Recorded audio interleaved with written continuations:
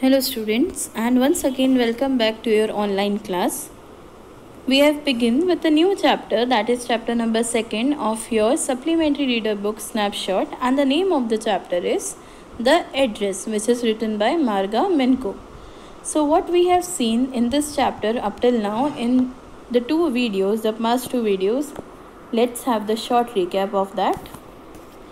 ये स्टोरी किसको बिलोंग करती है मार्गा मिनको को मार्गा मिनको अपनी मदर की कुछ ऐसी बिलोंगिंग्स जिनके बारे में उन्हें नॉलेज नहीं थी कि मदर ने किन्हें दिए किन्हें नहीं, उन सब के बारे में अपनी मदर से सब कुछ पूछ कर वो एक ऐसी लेडी के पास जाती हैं मिसेस डॉलिंग्स के पास, जिनके पास श्योरली उनकी मदर की कुछ बिलोंगिंग्स हैं, जिनको वो देखना चाहती हैं। एंड इस अकॉर्डिंग मार्गा मिनको का एक सर्च स्टार्ट होता है, जिसके बारे में उन्होंने धीरे धीरे इस चैप्टर में डिस्क्राइब करा है। वो सर्च पर्टिकुलरली किसके बारे में? मिसेस डॉर्लिंग के बारे में, जो कि मार्गा मिनको के घर से काफ़ी सारे मटेरियल्स उनके लेकर गई थी विथ अ कंडीशन कि वो जो भी मटेरियल्स हैं, वो मार्गा मिनको को बिलोंग करते हैं। And in the time of world war second जब जर्मनी कंटिन्यूसली अटैक कर रहा था टूवर्ड्स हॉलैंड अगर हॉलैंड को कुछ भी हो जाता है तब जाकर मार्गा मिनको और उनके मटेरियल्स की जो केयर कर रही थी मिसेस रॉलिंग वो डायरेक्टली वो सारे मटेरियल्स मार्गा मिनको को हैंड ओवर कर देंगी। बट अभी तक की स्टोरी में मार्गा मिनको की मदर ने यही बोला कि उनकी बिलोंगिंग्स को मिसेस रॉलिंग अपने पास रख चुकी हैं एंड वो कैसे भी करके देना नहीं चाहती। तो जो भी सर्कमस्टांसेस हुए थे, वो आखिर क्यों हुए थे? बिकॉज़ मिसेस रॉलिंग का कहना था मार्गा मिनको से कि उन्हें पता ही नहीं था कि वॉर जो अभी वर्ल्ड वॉर हुआ था, उसमें कोई ज़िंदा भी है या नहीं है। Except Mrs Dorling her self जो कि वहाँ से काफ़ी टाइम पहले कहीं और शिफ्ट हो गई थी या भाग चुकी थी।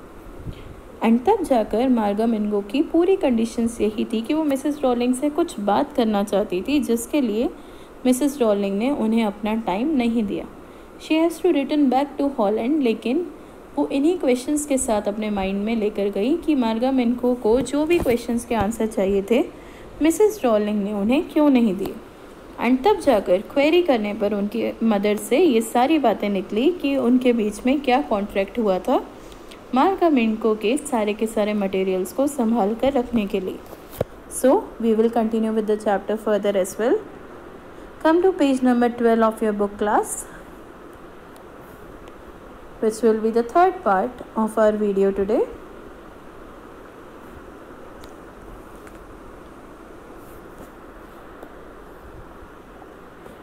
See this.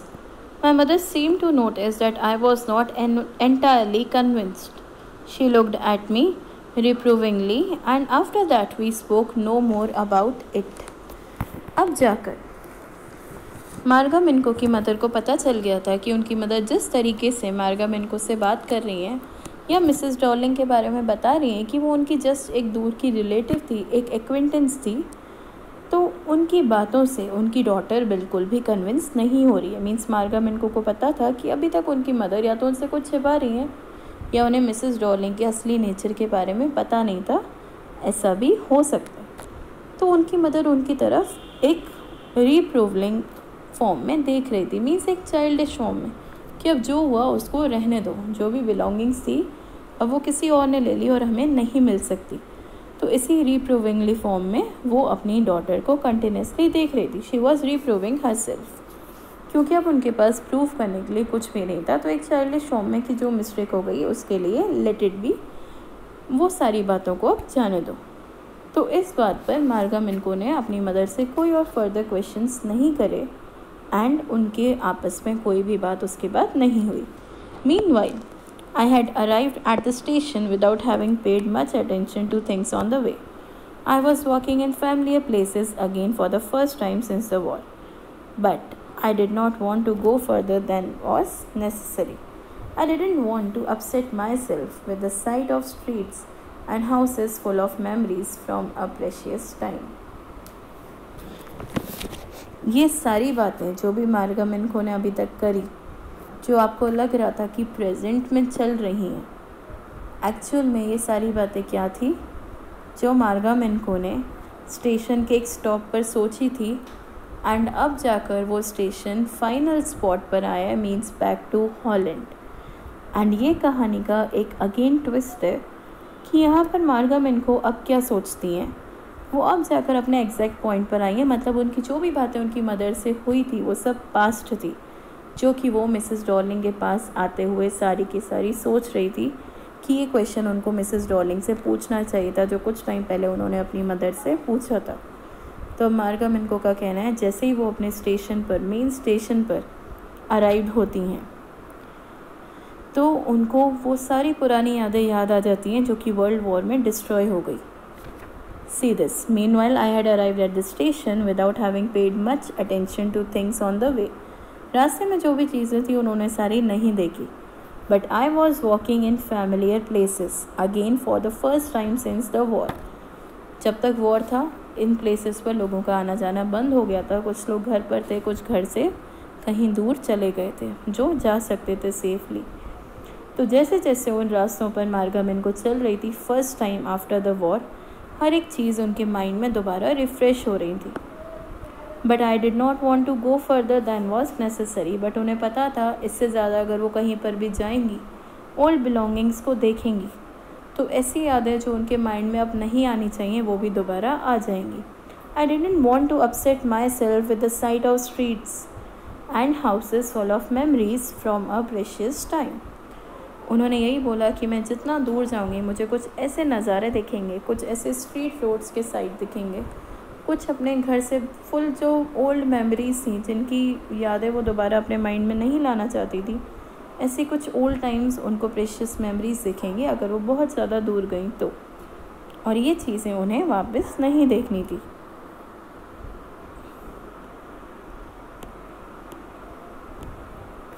See the next paragraph In the train back, I saw Mrs. Darling in front of me again, as I had the first time I met her.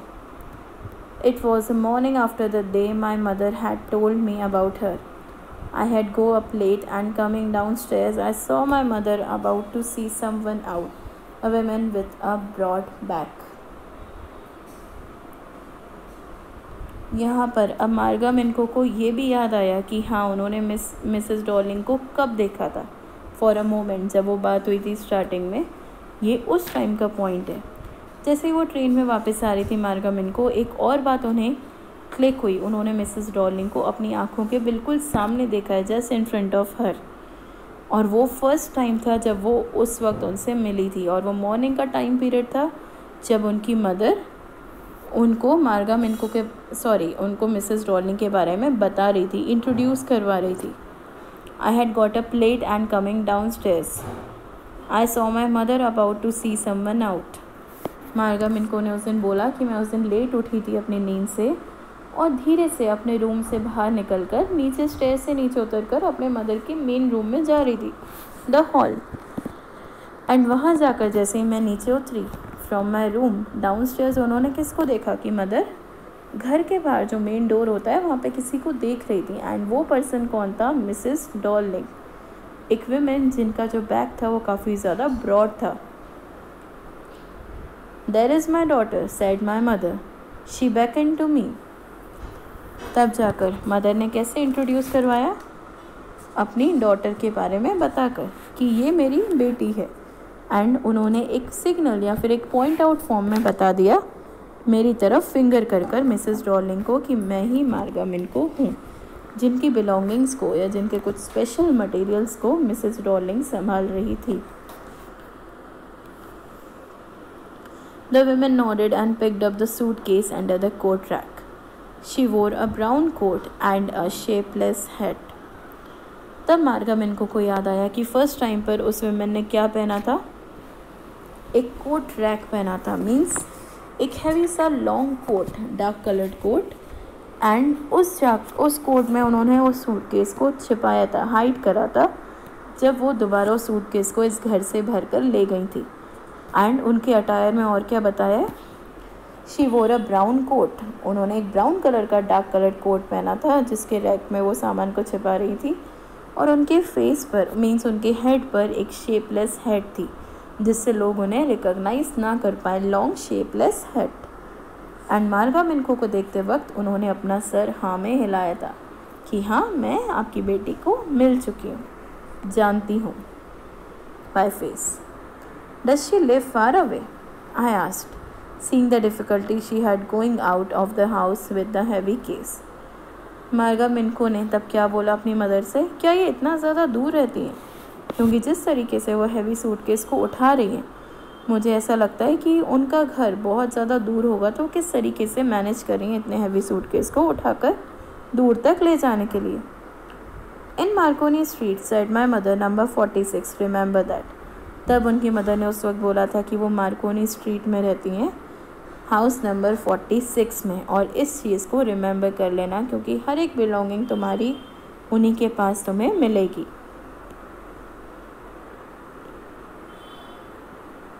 I had remembered it, but I had waited a long time to go there. Initially, after the liberation, I was absolutely not interested in all that sorted stuff. And naturally, sorry, it's not sorted, it's stored stuff. And naturally, I was also rather afraid of it. मार्गा Minco ने क्या बोला जैसा जैसा उनकी mother ने उनको पहले कभी पास्ट में वर्ल्ड वॉर के टाइम पर कुछ भी समझाया था या बोला था हर चीज़ उन्हें बहुत अच्छे से याद थी। But I had waited a long time to go there but इसी सोच में कि वो जाए या ना जाए, उन्हें वो लेडी किस तरीके से ट्रीट करेगी ग्रीट करेगी या नहीं, इन सब सोच में उन्होंने काफ़ी ज़्यादा लॉन्ग टाइम ले लिया। Initially after the liberation and जैसे उन्हें फ्रीडम मिला, उसकी बिगनिंग में इनिशियल पॉइंट में I was absolutely not interested in all that stored stuff and जो भी सामान, जो भी मटेरियल या थिंग्स उस लेडी ने संभाली हैं, कहीं ना कहीं मार्गम इनको जाकर अपने मुँह से खुद उन सामान को मांगने में इंटरेस्टेड नहीं थी after the freedom and naturally I was also rather afraid of it and वही सारी जो भी उनके माइंड में अलग अलग थाट्स आ रहे थे, उन सबको देख वो और ज़्यादा अफ्रेड हो गई कि उन्हें मांगना चाहिए या नहीं। Afraid of being confronted with things that had belong to a connection that no longer existed which were hidden away in cupboards and boxes and waiting in vain until they were put back in their place again, which had endured all those years because they were things.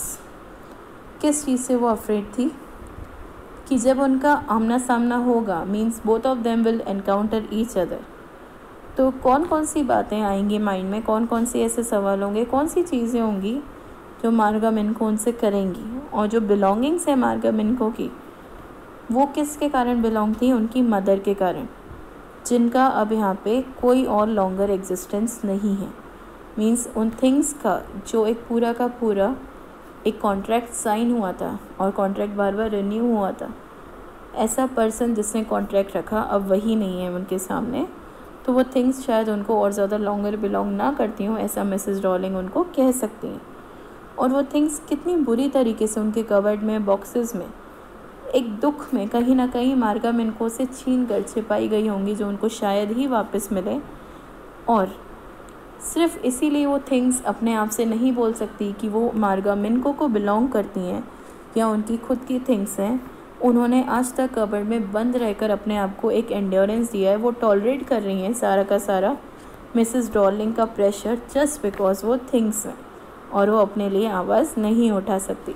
तो ये सारे normal conditions Margam इनको के mind में आ रही थी जो उनको स्ट्रेस दे रही थी। But gradually everything became more normal again bread was getting to be a lighter color. There was a bed you could sleep in unthreatened, a room with a view you were more used to glancing at each day. And one day I noticed I was curious about all the possessions that must still be at that address.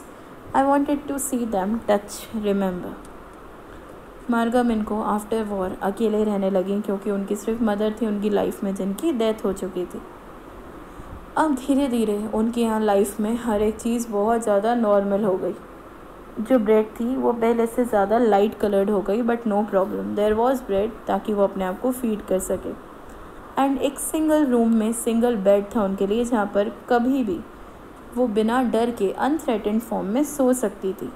और उस room में बाहर का view इतना ज़्यादा अच्छा था जो उनको पीस देता था। हर दिन जब भी वो रूम के बाहर झांकती थी या फिर किसी भी चीज़ को ग्लैंस करती थी। लेकिन एक दिन इसी तरीके से अकेले रहते रहते उन्होंने नोटिस करा कि उनके माइंड में कुछ ऐसी हलचल हो रही है। एक क्यूरियोसिटी है, जिस क्यूरियोसिटी को वो दूर करना चाहती थी। और वो क्यूरियोसिटी थी उनके पोजेशन को लेकर कि जो भी मटेरियल्स उनको बिलोंग करते हैं, क्या वो कभी उनको वापस मिलेंगे? जिस एड्रेस पर वो अभी जाना चाहती हैं नंबर फोर्टी सिक्स पर मिसेस डॉर्लिंग के घर पर, क्या अभी तक वो वहाँ पर होंगी? और हर एक चीज़ वो एक बार एटलीस्ट टच करना चाहती थी, अपनी मदर की पुरानी यादों को फिर से ताज़ा करना चाहती थी, उन्हें देखना चाहती थी। After my first visit in vain to Mrs Dorling's house I decided to try a second time now a girl of about fifteen open the door to me I आज her if her mother was at home पूरी तरह से हार कर अपने घर station से वापस आकर कुछ दिनों बाद दोबारा वहीं जाने की हिम्मत मार्गा ने की। बट मार्गा को यही डाउट था कि अब वो जो जा रही हैं सेकेंड टाइम उन्होंने अपने माइंड को, अपने मन को पक्का किया हुआ है तो क्या उनको वो सारी चीज़ें मिलेंगी? सेकेंड टाइम का जो उनका ट्रायल है, क्या वो सक्सेसफुल होगा? बट दिस टाइम मार्गा मिनको का घर किसने ओपन करा था? डोर एक फिफ्टीन ईयर्स ओल्ड गर्ल ने। तो मार्गा मिनको को लगा कि वो मिसेस डॉर्लिंग की ही डॉटर होगी। तो उन्होंने जनरली पूछा कि आपकी मदर घर पर है? No she said my mother is doing an errand no matter I said I will wait for her तब जाकर मार्गा मिनको को उसने क्या रिप्लाई दिया? फिफ्टीन ईयर ओल्ड गर्ल ने कि मेरी मदर आसपास के कुछ ज़रूरी सामान लेने के लिए गई हैं। She ran errand for all the work जो उनको घर के बाहर करने हैं, इसके लिए वो मार्केट गई हैं for short round no matter I said I will wait for her Marga ने बोला, कोई बात नहीं। मैं उनके लिए यहाँ पर ही इंतज़ार करूँगी। So we will continue this chapter tomorrow as well class till then thank you and have a nice day.